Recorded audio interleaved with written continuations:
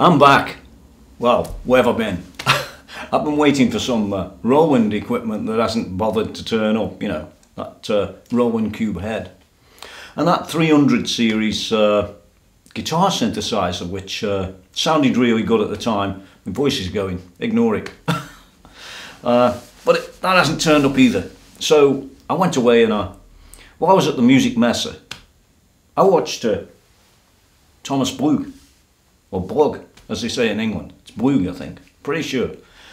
And uh, he was using one of these things, a blue, a, a blue guitar amp one, or Blug guitar amp one. I think it's a blue guitar amp one. And uh, what this thing's about is it's a it's a power amp that's no bigger than really the picture you see there. We're going to get it out in a sec. And uh, it's got this micro tube or mini tube. I think it's a micro tube. Doesn't really matter the name, but it's it's a little tiny thing. Um, by God, it can get hot. Oh. So uh, let's get the thing out and take a closer look because this is a, a very interesting uh, product that uh, when Thomas uses it, uh, it's awesome, but it may or may not be awesome when me and you use it. So let's take a closer look. Well, the first thing you get is, unfortunately, like me, you get the bill. Let's put that over there, eh? Yeah, let's put that over there. And then you get uh, something that's equally as useful. A foreign plug. Um, that's not really, it's great if you're in Germany, but listen, hey, this is England, England, as the Americans say. Um, the fact is that foreign plugs are no use to me and they're probably no use to you in America or, I don't know, Australia or Singapore. So, here's a plug I got earlier. Not a plug, no, a plug.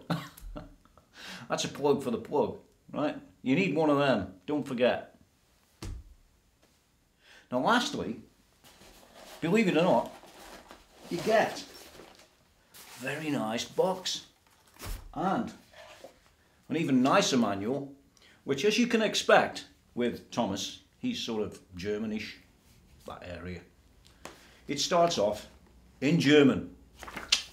However, once you get about halfway through, you can see it translates itself to English, the rest of the world, which I like. Great manual, by the way. Simple, like me.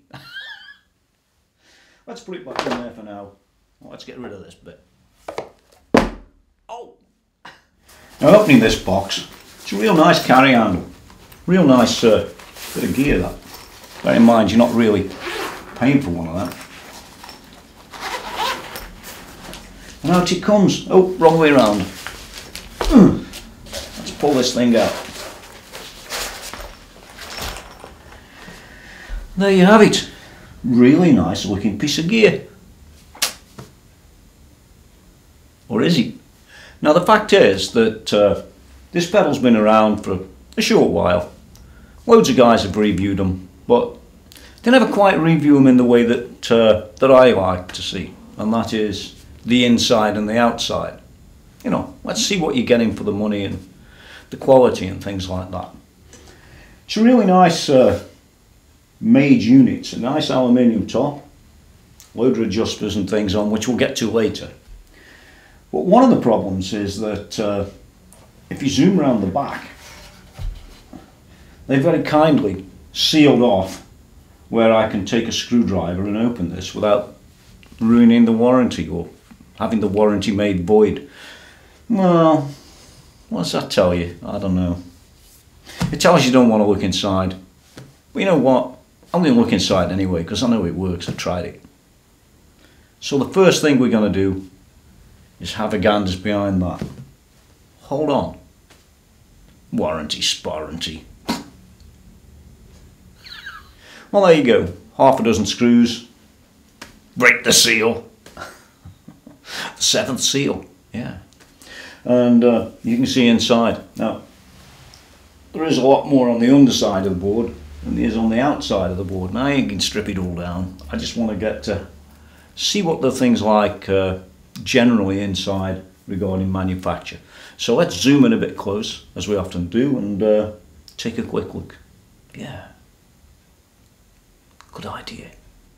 Well, here we are. Unfortunately, most of the uh, the real business is going on on the other side of this this little board. Well, this big board here, which is a real pity because uh, I'd like to have seen the other side. But you can tell a lot from the build uh, from this side as well, this side of the board. Uh, well, first of all, you've got your, your power in up at the top. In fact, that's it. So I guess really this is more of a power supply area. And the most important thing, of course, is this little micro tube that sits here. Oh, by the way, this isn't a pencil, as some people point out. If it was a pencil, it'd be good. Not. It's a, uh, it's a piece of, uh, well, a piece of wood.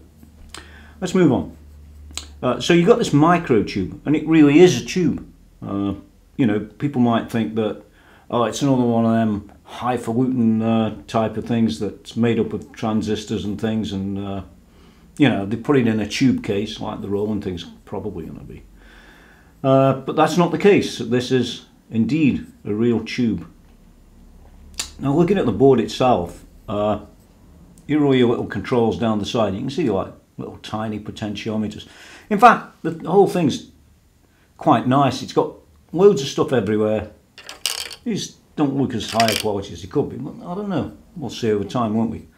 And everything else looks uh, hunky-dory. You can see the quality of the soldering down here. I just zoom in a bit.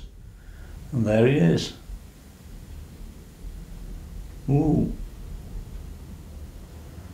And there's the tube. You can see the soldering's not actually that bad. You can see on this board that, as I said, generally the quality's uh, quite nice and uh, nothing to be sniffed at. See? All pretty, pretty cool really.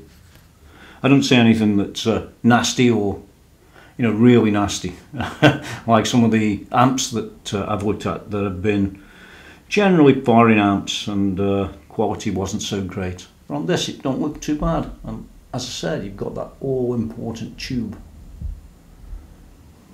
we've got to call it that, I guess. Yeah, awesome. Let's uh, flip the lid back because I've seen enough in here. This is quite nice quality. There's not a lot to talk about unless I strip the whole thing down. I'm not going to do that. Oh, one last thing. It's got a very nice fan over the power supply. It's a little fan there. That's about it. Let's zoom out. Okay, well, here we are around the front of the blue guitar. Oh, yeah, blue guitar. Yeah. Call it what you will. Taking a close look at it, uh, it looks rather like an amp, doesn't it?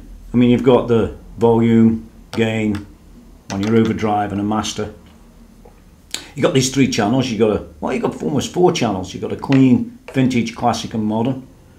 Yeah, I suppose it is four channels. Yeah. Bass, middle and treble, uh, which are shared, by the way. Uh, so they are what they are.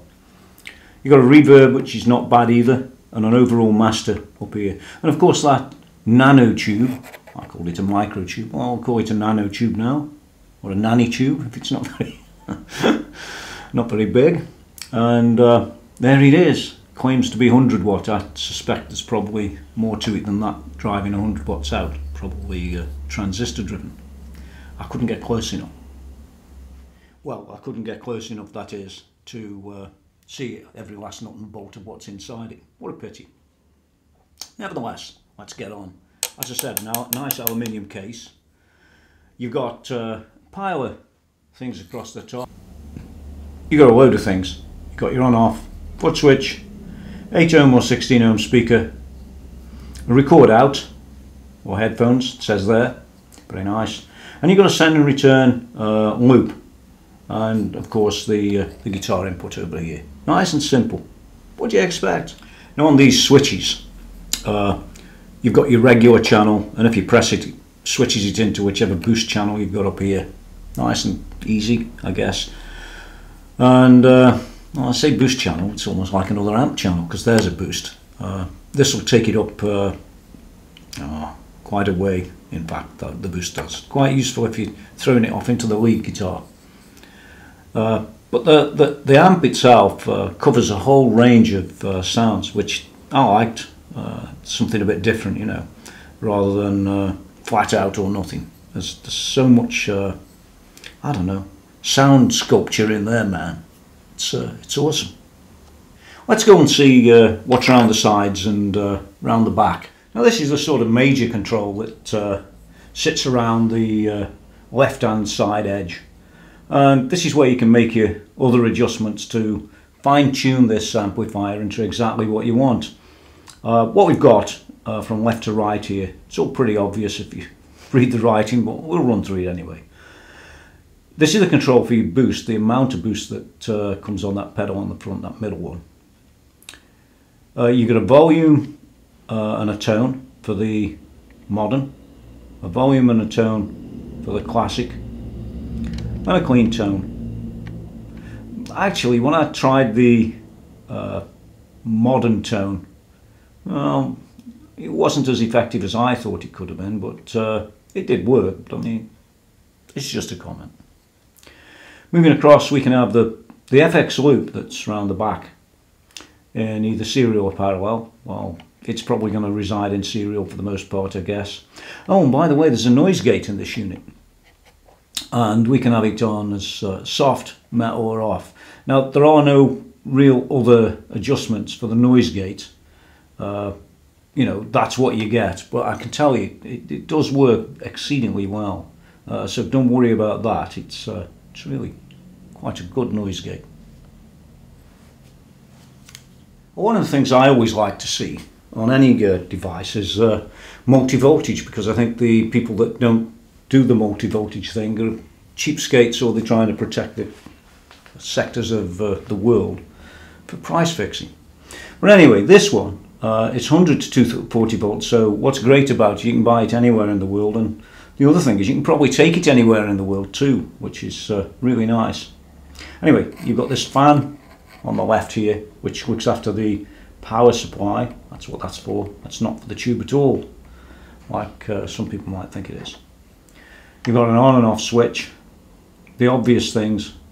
It says here MIDI uh, remote. We'll come back to that later. You've got an 8 ohm and 16 ohm. We looked at these across the top, but I just thought I'd show you the back. Record out, FX, uh, send and return, and obviously the, the guitar input. Let's move on. Now here's a quick shot of the back. And one of the things you want to take heed of are these two things here, because what you can get uh, for your for your sort of floorboard uh, unit is you can get a sort of magnet that fits in that, so you can just fit this into the magnet, so to speak, or on, onto the board that's got the magnet, and there it is, stuck in place. Uh, very simple, innovative idea, really, and uh, it's covered in the manual a bit more, but I ain't got one, so I'm not going to show it physically. Let's zoom in a, a, little bit nearer and have a look at what else we've got up here. A few more things kicking around. Okay, well, you can see that it has a CE and one and a RoHS compliance, which is to do with lead and solder and things like that, or solder, as they say in America. I don't know. That's a funny word for America. Anyway, uh, looking on, you've got your little serial number. All these other things saying, oh, there's high voltage inside, keep out, and all that rubbish. And uh, the guarantee Seagull, which is now a bit of the dust. Who cares? I'll put a new one on it. oh, so how, how effective is that? Well, it isn't. and if we move across a bit, we've got this other thing. Assuming not can reach it. Yeah, I can. And there it is. Well, this is the FX loop level. Right there. But it doesn't work on like a, you know, a, it's not variable. You can't sort of turn it round, so to speak. It works on in or out. So what happens is you just press in there. When it's out, it's low, minus 10 dB. That's the non-commercial stuff. And when it's in, it's high and it's plus 4 dB, which is nice that you can vary it in that way. Let's zoom back out. I wanted to talk a little bit more about the, the nanotube. There it is. Microtube, nanotube. Mullery Scullery, yeah. Anyway, what they say in the manual, I've flipped the pages open, because I don't know much about uh, nanotubes. It says here, for decades, tubes have been the sound makers. They're dead right they are. Uh, the sub-miniature vacuum tubes were reduced in terms of size and weight and consequently more mechanically stable, noticeably more resistant to microphonics. Well, yeah, there they are. There it is, should I say. I only see one inside. Uh, maybe there is just one uh, used as a preamp and then they maybe use a uh, you know uh, solid state output for the power amp. I suspect that's the case because uh, well you can actually turn this on with no speakers. So I guess if it was a tube amp it wouldn't last long. And if it was a uh, solid state amp well yeah there you go. Well the only thing that ever concerned me about the the nanotube really uh, this tiny little device down here was well what's going to happen when your tube fails?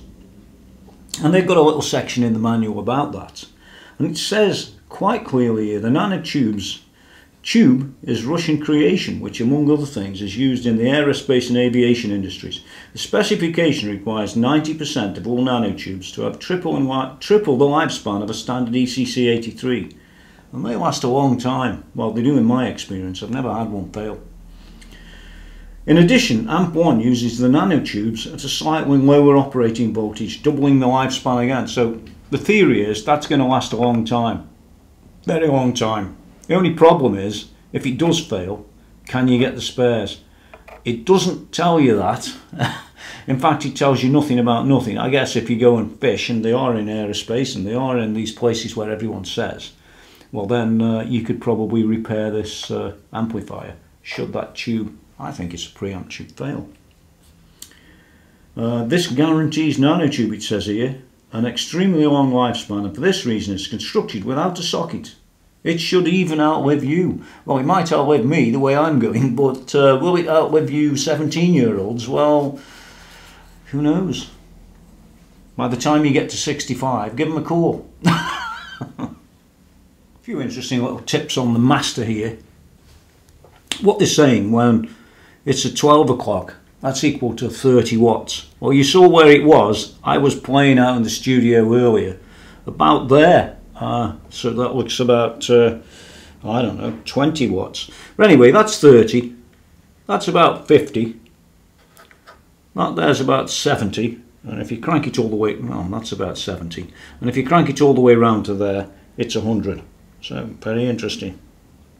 What it's saying is, let's keep it in this area backwards for home. Yeah, I'm sure you would. Oh, well, anywhere in that sector. Yeah that sector. It's hard to do that on camera in that sector.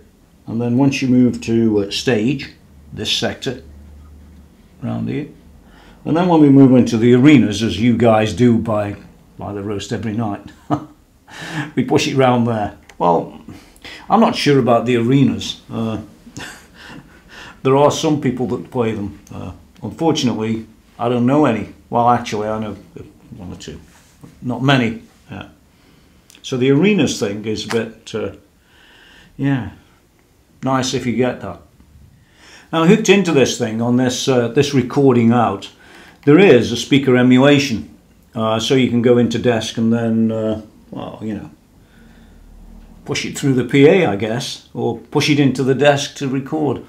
They don't tell you much, well, they don't tell you almost anything about the, uh, you know, that emulation what cabs it is, what this it is, what that it isn't. So I wouldn't worry about that. You'll, you'll put it to your desk and you'll either like it or you won't. That's that simple. And if you don't like it, uh, well, it's tough. oh, and one other thing, when you do use uh, you do use your headphones here in this record out thing, it disables the uh, the speaker uh, outs. It says. Let's just digress for a moment and talk about that MIDI. If you checked at the back earlier on, you'd see that uh, that MIDI out uh, where is it? There. Call it a foot switch. Right there. Uh, it's a non-standard MIDI connection. So they do make it like a converter that converts it to a regular sort of, uh, I think it's a 5 pin from a stereo 6.3mm jack or quarter jack. Now the thing is about that, uh, inside here you've got a power soak. But the power soak you can't get at unless you've got the uh, either the remote one I think they call it a remote one, uh, to switch it on and off. So that's fun. Uh, and the second thing is, well, you can do things with MIDI. I guess maybe you can get at it that way uh, with this converter. But I haven't seen anywhere where you can do that. Remote one's nice. Can't cost you money, of course. Maybe you can get it the uh, the power soak. Maybe you can't. I'll investigate that a bit further. One last thing on the uh, on the foot switch. You can use one of those uh, sort of two button, uh, you know, cheapo switches uh, in this foot switch section. Uh, it's not programmable, but it'll switch a couple of things. On the remote one, you also have the ability to buy a, a sort of looper board that fits in, in, inside the remote one. And uh, basically, you, you then got a looper, uh, which is quite nice. And, and, and there's loads of other things you can do with the remote one there's not so many things you can do without the remote one because I don't see any MIDI information or just very little bits of information about MIDI in the manual. So, so really, there's either going to be more hidden somewhere on the internet or you can't do it simply. I don't know. I like the simple route, don't you? I want to just cover a little bit more about that power soak because for some people it's extremely important to get great sounds at low volumes and uh, you know, the sort of price that this, this amplifier is, uh, that's a very important thing. Uh, well, how does it kick itself together? Well, you need to have the uh, BluGuitar uh, remote one. And if you look at this master here, let's figure that out as being halfway between here or there. Here is home, there is stage. Now when it's set in the, in the home mode, we've got down here we've got literally 0.15 watt. Tiny. Moving on up a bit, 1 watt, 1.5 watt, and finally 2 watt. If we carry on from there, we're on 7 watt, 7 watt on the stage section when you flip it into stage because it's a two level uh, power soak. Then we move to 20 watt, 40 watt, and all the way back to 100 watt. So home from 150 milliwatts to 2 watts, stage from 7 to 100 watts. Very nice. But you did need the remote to do it. And one of the things I do like about the uh, effect send and return, if you bang uh, one of those uh, volume pedals between the send and return, you can control the output volume. Uh, very nice.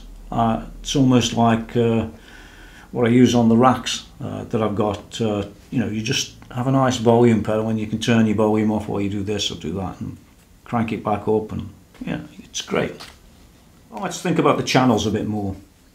When we're on this clean channel, basically you've got what they say at least is that uh, you can use this sort of up to about uh, well you can use it anywhere really but humbuckers this side single coils more that side or level should I say and don't forget you've got that adjustment on the side and the adjustment on the side here actually they're all very important because they they sort of shape this front end. And uh, on the clean channel, you can go from, it says here, California to sparkling. Very nice. Yeah. Sounds like, uh, sounds like a drink. Yeah. Mm, yummy, yummy. But anyway, the clean channel is what it is, but you can drive it quite a long way. And, uh, you know, if you've got using that power soak as well, you can drive it even further, of course. Uh, you know, uh, from very light, very clean, into uh, quite heavy stuff. Yeah, always remember that when you're working on these channels, that these, these settings down the side, uh, they're really ultra important because what they allow you to do is to, in effect, uh, custom set each one of these uh, styles, we'll call them that, they could be called channels, vintage, classic and modern. And uh, really get to grips with an exact tone that you need And uh, maybe I should have had a look at Thomas's uh, pedal when I was there and photographed the side. I just never forgot. I just didn't quite do that. Uh, yeah, maybe I should have photographed the side uh, of Thomas's uh, Blug guitar or blue guitar uh, pedal. I just failed to do that. Sorry, guys. I'll see if I've got a thing on the settings that he used. Maybe not. But you can take this vintage channel and you can tweak it around down the side here and it will go from uh, clean to drive it says here combined with the boost and the custom control and the power soak that you can't get at without the pedal and all that. Uh, it says here the vintage channel delivers a good old honest tone of rock and roll. Well, I hope it does. Lightly distorted between 5 and 7 for single coils. If using high output pickups like humbuckers or active pickups, you should test uh, settings between 3 and 5. If you push the gain past 7, you will produce beautifully fat crunch. Yeah, if they met the message then. Ah. Onto the classic channel. There it is. Nothing classic about me, is there? But this is supposed to be really classic, and it goes from 70s rock, from uh, down one end, uh, on the side here, to 80s rock, to modern rock and metal, it says. Using classic tone, you can dial in this channel to your personal taste or anything between the woody, rough sounding tones of the 70s and the rich modern sounds of hot rodded amps. I spent too long on all this. We'll come back up top in a minute. Onto the modern channel. Well, there it is, and you've got your adjusters and the rest of it, and these things at the side again, these custom controls. It's saying here you can go from fat screaming classic lead to high gain rock and metal to ultra metal. Well, maybe you can. Uh, didn't impress me particularly as being ultra metal, uh, although it does get its, it gets a good way towards it, but I, I wouldn't call it that myself. But that's just me. Now on these uh, bass, middle and treble, when you've got shared uh, uh, controls like that, uh, what normally happens in an amp is that all the channels sound pretty much, well, like that. but what they've done with this is, it's a bit like, uh, to be honest, a bit like an Electra Dyne in some ways. Uh, what they've done is for each channel, these settings, or the knobs behind them, are effectively different. So uh, they're sort of tuned for each channel. Although you've only got three knobs, you, you know, some guys will say, oh, that's it, it's, that's, it's all fixed and it's all this and it's all that. No, it, no it's not. Uh, these effectively change when you change channel and then uh, you can make your adjustments from there. But I guess once you get it right on one, they're going to be pretty right on the others. Boost here uh, well, you've got an adjuster on the end for the boost, uh, which is quite useful. Can go from, it says here, from clean to drive. Doesn't, that's about it. But it does say uh, you can activate the boost with a, this switch here, or with a double foot switch, you know, those cheap things on the uh, foot switch bit, or via MIDI and remote one. Now, MIDI and remote one, I'm not sure if that's MIDI or remote one, or MIDI and remote one. If it's MIDI and remote one, you need the remote one. There's also a noise gate in this unit uh, that you don't see much about uh, because there's no adjusters on this, uh, other than at the side here uh, for the uh, either off, soft or metal settings uh, for that noise gate. But I like the noise gate, it seemed to be quite cool that did digital reverb. What did you expect? One last thing about this before I zoom back up to the top. Uh, I noticed in the back of the manual that the manufacturer, BluGuitar GmbH or BluGuitar Germany, is actually based at a, a university campus. Uh, all interesting stuff. So uh, maybe they're a sort of startup company or not. I, I'm not quite sure about that, but just interesting to note that they're actually on campus. Well, hey, how are we doing on the score of this thing? Uh, it's quite a nice uh, piece of equipment, and uh, I'd rate it at about uh, about an eight. Actually, it seems very nicely made and uh, worth the money, so to speak. Inside's well enough made. It all comes down whether you like tube amps, whether you like a hybrid like what this is, or whether you like transistor amps or simulators or emulators. For me, this is a bit like uh,